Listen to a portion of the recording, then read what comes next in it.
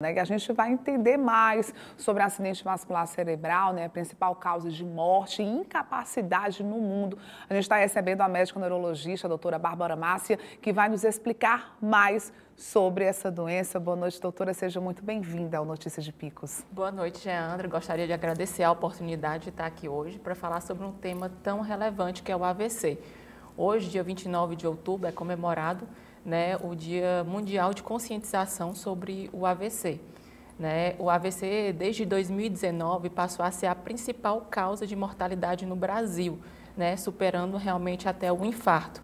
Né? Daí a importância da gente falar sobre esse tema, sobre os modos de prevenção, é, os sinais e sintomas e o tratamento dessa doença. Doutora, para explicar é, para quem está em casa, existem dois tipos né, de AVCs e tem um que atinge o maior número de pessoas, né, que acomete mais as pessoas. Isso. É, nós temos dois tipos de AVC, o AVC isquêmico e o AVC hemorrágico. O mais frequente é o AVC isquêmico, que ocorre em até 70% dos casos. No caso do isquêmico, ocorre uma obstrução de uma artéria na, no nosso cérebro, impedindo o fluxo sanguíneo. E aquela área que é irrigada por aquela artéria, ela sofre uma morte neuronal. Os neurônios vão morrendo com o passar do tempo. Daí a importância do, do, tratamento rápido e eficaz, porque a gente tem uma janela de quatro horas e meia a partir do início dos sintomas para o tratamento. Doutora, em relação a esse tipo de AVC, é, tem como a pessoa identificar minutos antes de ter um AVC? Isso. É, a gente costuma utilizar um mnemônico chamado SAMU. Né? A gente pode pedir o paciente para sorrir e avaliar a mímica facial, para ver se tem uma paralisia facial, ou seja, a boca fica torta, né? Pode pedir para o paciente abraçar ou levantar os braços. Se algum dos braços cair, né, a gente já classifica como hemiparesia, né, que é uma perda de força de um lado do corpo. A gente pode pedir para o paciente cantar ou falar alguma coisa para ver a questão da voz, se está tendo a voz mais é, embaraçosa, a voz mais pesada. Né? Outros sintomas também são muito comuns, como tontura, vertigem, alteração da marcha, né? alterações do nível de consciência também são bastante frequentes. Mas de qualquer maneira é interessante logo que seja, né, tenha o socorro imediato. Isso, é, a gente costuma falar na neurologia que tempo é cérebro, né? Então, no AVC não é diferente. Assim que você identificar esses sintomas, o ideal é que procure o serviço médico o mais rápido possível. Aqui em Picos, o nosso centro de referência no tratamento do AVC é o Hospital Regional Justino Luiz.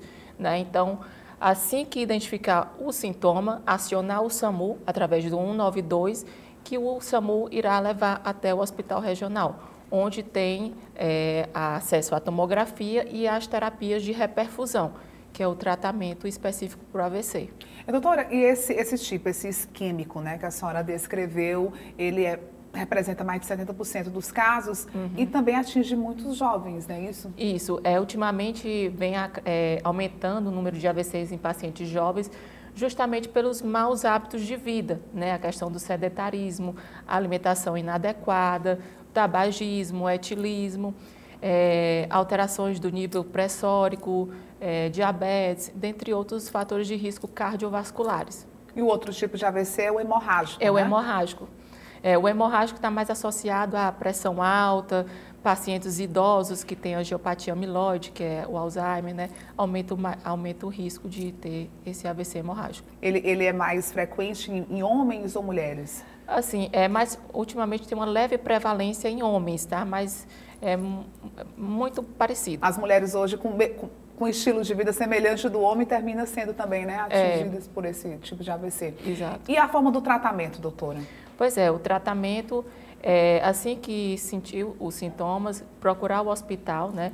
É, o hospital conta com uma medicação chamada trombolítico, tá? que é uma medicação que vai desobstruir aquela artéria que está entupida e restabelecer o fluxo sanguíneo do cérebro, né? E com isso reverter os sintomas e restabelecer o fluxo sanguíneo diminuindo as sequelas, incapacidades e diminuindo também a mortalidade desses pacientes. Doutora, voltando só para essa questão do, do, do, caso hemorrágico, qual é o sintoma do hemorrágico? São muito parecidos. O que a gente vai diferir é através da tomografia. Tá? Por isso que a gente tem que ir para um centro de referência que tenha tomografia, porque através da tomografia a gente vai poder distinguir se é isquêmico ou hemorrágico. Mas aquele teste que a senhora se referiu ao outro tipo pode ser feito também? Pode ser caso? feito pelos dois. Tem o mesmo sintoma, no caso, né, é, paralisia facial? Facial, é, alteração de força de um lado do corpo, alteração na fala. Tá?